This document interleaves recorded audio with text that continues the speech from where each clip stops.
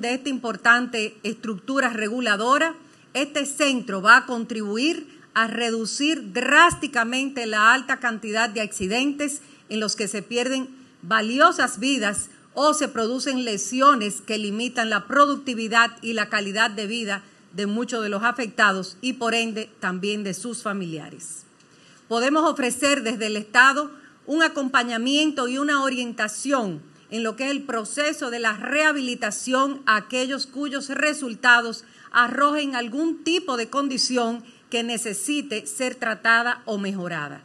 Estas evaluaciones se harán, repito, para poder garantizar que el ejercicio ciudadano de conducir se realice en plena libertad y en el marco del respeto a lo que es la integridad de los demás. Conducir un vehículo se ha convertido en una actividad necesaria para el desenvolvimiento de nuestras tareas diarias, pero esta debe realizarse respetando la normativa de tránsito ampliamente debatidas para poder garantizar ese, ese valioso derecho que es la vida.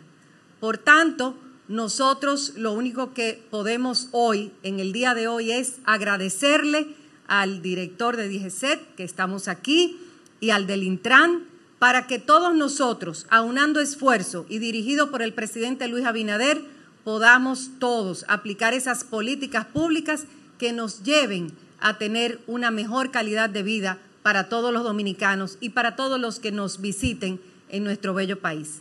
Muchísimas gracias y que Dios los bendiga.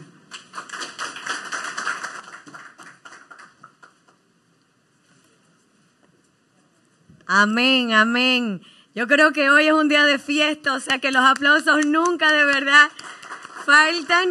Y para ya dar formal apertura a esta sinergia de Intran y Semeco, queremos llamar a los que conforman nuestra línea de honor para que se pongan aquí y simbólicamente hacer el corte de cinta.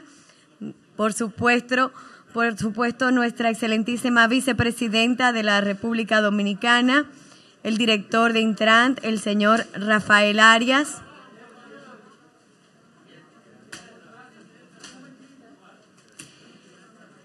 El viceministro de la Presidencia, el general Guzmán Peralta y el señor José Gómez.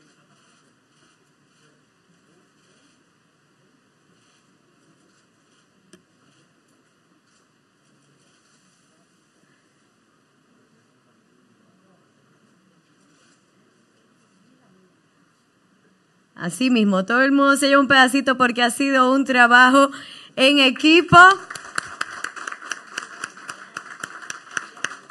Y queremos agradecer a todos los que nos están y han sido aliados y cómplices para hacer realidad este día.